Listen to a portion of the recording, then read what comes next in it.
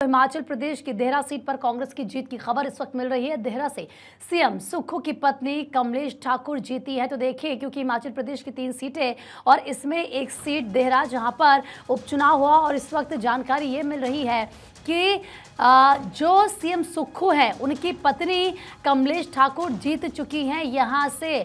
और सुबह से हम ये कह रहे थे आपसे कि ज़ाहिर सी बात है, जब सीएम की पत्नी मैदान में उतरी हैं तो फिर बात नाक की हो जाती है बात साख की हो जाती है और फ़िलहाल आप ये कह सकते हैं कि अपनी नाक और साख दोनों ही सीएम सुक्खू ने बचाई है।